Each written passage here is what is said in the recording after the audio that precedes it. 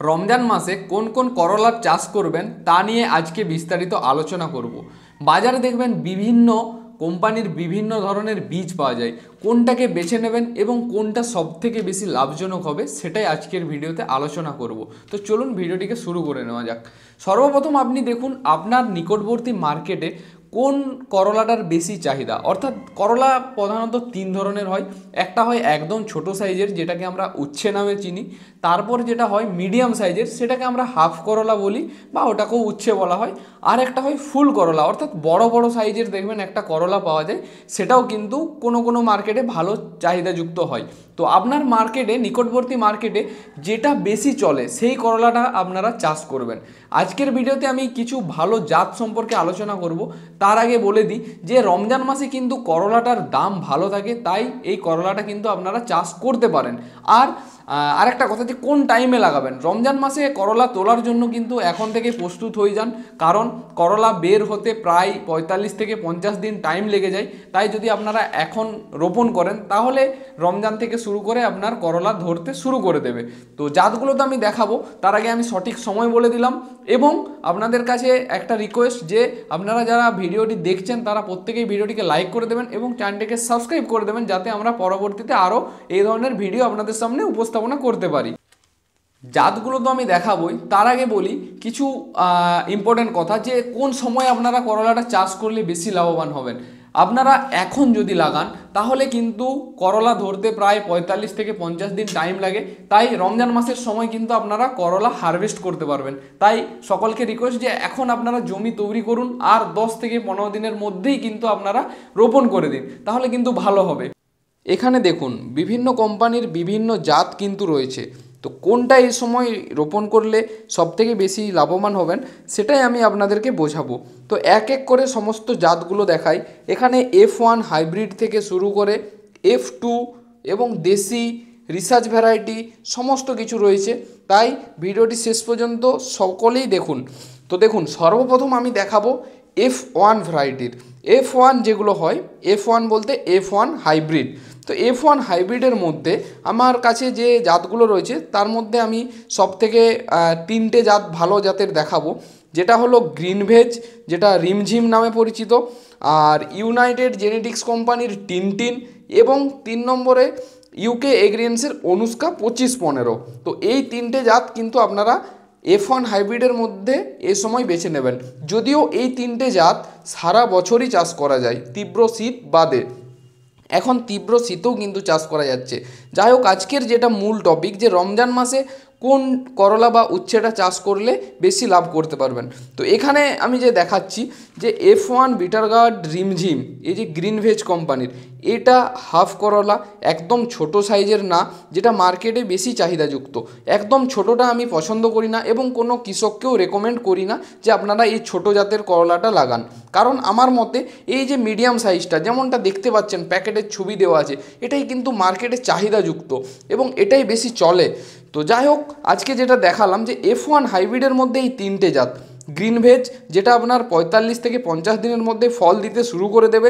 খুব ভালো এটার জাত, কারণ অনেককে আমি দিয়েছি, অনেক কৃষক চাষ করেছে এবং তারা আমাকে সকলেই ছবি পাঠিয়েছে এবং ভালো রেজাল্ট সকলেই বলেছে। তারপর এখানে যদি আমি দেখাই ইউকে এগ্রিয়েন্সের দেখতে পাচ্ছেন, অনুষ্কা পঁচিশ পনেরো। এই যে ভ্যারাইটিটা রয়েছে, এটাও সেম ক্যাটাগরির প্রায় পঁয়তাল্লিশ থেকে পঞ্চাশ দিনের মাথায় এটাও আপনি ফল পাবেন। এবং গাছের এই যে তিনটে এফ ওয়ান হাইব্রিড দেখাবো, গাছের লং জিভিটি অনেক দিন। তিন তিন বলে যে ভ্যারাইটিটা আছে, এটা তো বহুদিন ফল পেয়েছে অনেক কৃষক। হায়েস্ট সাড়ে চার মাস পর্যন্ত টানা ফল পেয়েছে। ফল হওয়ার মানে ফল শুরু হওয়ার পর থেকে সাড়ে চার মাস ফল পেয়েছে। দেখতে পাচ্ছেন, এই যে টিনটিন যাত্রা রয়েছে, এটা কিন্তু পাঁচশো সিডসের প্যাকেট। অর্থাৎ এই যে প্যাকেটটা আমি ধরে আছি, এটাতে পাঁচশো পিস দানা আছে। দেখুন, এখানে পরিষ্কারভাবে লেখা আছে। এবং এটা পাঁচশো ছাড়াও কিন্তু আড়াইশো সিডসের প্যাকেট হয়। যেমন এটা হচ্ছে আড়াইশো সিডসের প্যাকেট এবং হাজার সিডসেরও কিন্তু প্যাকেট হয় এই টিনটিনটা। এটা ছাড়া এই যে রিমঝিমটা দেখাচ্ছি, এটা কিন্তু পঁচিশ গ্রামের প্যাকেট। তো এই দুটো গেল এফ ওয়ান হাইব্রিড এবং আরেকটা যে এফ ওয়ান হাইব্রিড বাকি রয়েছে, সেটা হচ্ছে অনুষ্কা পঁচিশ পনেরো। এই অনুষ্কা পঁচিশ পনেরো জাতটি, এই যে প্যাকেটটা আমার হাতে দেখতে পাচ্ছেন, এটা পঞ্চাশ গ্রামের প্যাকেট এবং এটারও কাটা মানে অর্থাৎ দাঁড়া, যেটা করলার দাঁড়া, খুব সুন্দর হয় এবং মার্কেটে চাহিদাযুক্ত। তো যদি আপনারা এই সময় এফ ওয়ান হাইব্রিড জাতের করলা বা উচ্ছে চাষ করতে চাইছেন, তাহলে আপনারা রিমঝিম অনুষ্কা অথবা টিন টিন, এই তিনটের মধ্যে বেছে নিতে পারেন।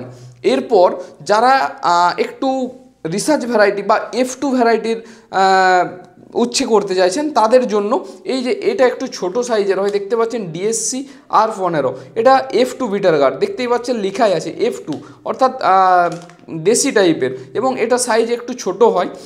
এটাও আপনারা করতে পারেন, যারা এফ টু করতে চায় এবং এফ ওয়ানের মধ্যে এই যে তিনটে ভ্যারাইটি দেখালাম।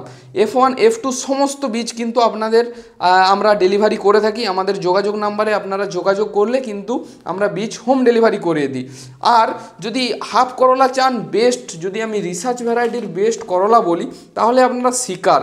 শিকার এই যে ভ্যারাইটিটা রয়েছে, এই করলাটা কীরকম ফল ধরে, সেটা আমার চ্যানেলে কিন্তু বিস্তারিত রয়েছে। আপনারা এই ভিডিওটির শেষে কিন্তু শিকার ভ্যারাইটির করলাটা আপনারা দেখে নেবেন। এটা খুব ভালো আমি নিজে চাষ করেছিলাম এবং মিডিয়াম সাইজের হয়, পুরো একদম ঘন কাটাযুক্ত আর মার্কেটে চাহিদাযুক্ত রিসার্চ ভ্যারাইটির মধ্যে এই শিকার করলাটা একদম বেস্ট আমি মনে করি। আর এটাকে সবথেকে বড় অ্যাডভান্টেজ যে এটা আপনারা যে কোনো ফসলের সাথে সাথী ফসল হিসাবে চাষ করতে পারেন। বিশেষ করে আমি যেমন করেছিলাম শশার সাথে। শশার সাথে সাথী ফসল হিসাবে এটা চাষ করেছিলাম, দুর্দান্ত রেজাল্ট পেয়েছি। আর যদি আপনারা রমজান মাসে সাথী ফসল হিসাবে শশার সাথে চাষ করতে চান বা ওই চাষের ভিডিও দেখতে চান, তাহলে আপনারা অবশ্যই কমেন্ট করবেন। আমি সেটা নিয়ে বিস্তারিত ভিডিও কিন্তু বানিয়ে দেব। এরপর আসি বড় সাইজের করলা। কিছু কিছু কৃষক দেখবেন বড় জাতের করলা কিন্তু পছন্দ করে। তো আপনাদের জন্য সমস্ত রকম ভিডিও আমি বলেছি দেব। তার জন্য বড় জাতের করলার মধ্যেও আমাদের কিন্তু এই জাতটিকে রেখেছি আজকের ভিডিওতে যে কালীশঙ্কর বলে একটা করলা হয় এটা কিন্তু একটু সাইজে বেশ বড় হয় এবং ওয়েটও বেশ ভালো হয়। প্রায় দেড়শো থেকে দুশো গ্রামের কাছাকাছি গড় ওজন হয় এক একটা করলার। এই যে কালীশঙ্কর করলাটা, এটা কিন্তু সব জায়গায় চলে না। বেশিরভাগ জায়গায় ছোট মিডিয়াম সাইজেরটা চলে। তো যেখানে চলে তারা অবশ্যই এই জাতটা চাষ করেন, কারণ এটা ফলনের সাথে সাথে এটা আপনার ওজনও খুব ভালো এবং ভালো মানে ওয়েট বেশি হয়। কম করলা দিয়ে ওয়েটটা আপনাদের বেশি হয়। আর এগুলোর যদি গড় ওজন বলি, এই এফ ওয়ান হাইব্রিড যে হাফ করলাগুলো রয়েছে, এগুলো প্রায় গড় ওজন সত্তর থেকে আশি গ্রাম হয়। আর শিকার করলাটা আর একটু বেশি হয়, একশো থেকে একশো কুড়ি গ্রাম। অর্থাৎ এক কিলোর মধ্যে এগুলো বারো থেকে চোদ্দোটা করে লাগে এবং এই শিকারটা প্রায় আটটা কি নটা লাগে। তো এই করলাগুলো যদি আপনারা এই সময় চাষ করেন, আপনারা কিন্তু অধিক লাভ করতে পারবেন। প্রত্যেকটা বীজ কিন্তু ভালো, প্রত্যেকটা বীজের জার্মিনেশনও কিন্তু ভালো। আমি উচ্ছে বীজের ক্ষেত্রে আরেকবার জার্মিনেশনটা বলে দিই। যদিও আমি জার্মিনেশনের ভিডিও দিয়েছিলাম, তাও সকলে যদি না সেই ভিডিওটা দেখেছেন, এই ভিডিও থেকে জার্মিনেশনটা জেনে নেবেন। উচ্ছে বীজ আটচল্লিশ ঘণ্টা জলে ভেজাতে হয়। আপনারা অনেক ক্ষেত্রে কি করেন, চার ঘণ্টা, ছ ঘণ্টা জলে ভেজান। সেক্ষেত্রে আপনাদের দানাগুলো নষ্ট হয়ে যায়। একদম এই ভুলটা করবেন না। এত দামি দানা ভুল করেও কিন্তু এই রকমভাবে জার্মিনেশন করবেন না। জার্মিনেশন করার জন্য আপনাদেরকে আটচল্লিশ ঘণ্টা জলে ভিজিয়ে রাখতে হবে। তারপর আপনারা জল থেকে তুলে নিয়ে টিস্যু পেপার হোক বা যদি আমি যেটা দেখিয়েছিলাম যে ভেজা নেগড়ের মধ্যে দিয়ে ওটাকে ভালোভাবে বেঁধে নেবেন, তারপর কিন্তু স্টিলের টিফিন কৌটা বা কোনো গরম জায়গায় রেখে দিলেই তিন দিনের মধ্যে অঙ্কুর হয়ে যাবে, যেটা আমি দেখিয়েছিলাম। তো এইভাবেই কিন্তু জার্মিনেশন করবেন, নাহলে কিন্তু আপনার দানাও নষ্ট হয়ে যেতে পারে। তাই এই ভুলটা কোনো কৃষক করবেন না। যাই হোক, আজকের ভিডিও এটুকুই। সকলেই ভালো থাকুন, সুস্থ থাকুন। এই কামনা করে আজকের ভিডিওটি শেষ করলাম। এবং প্রত্যেকেই ভিডিওটিকে একটি করে লাইক করে দেবেন। আর সাবস্ক্রাইব করে চ্যানেলের সাথে যুক্ত থাকবেন।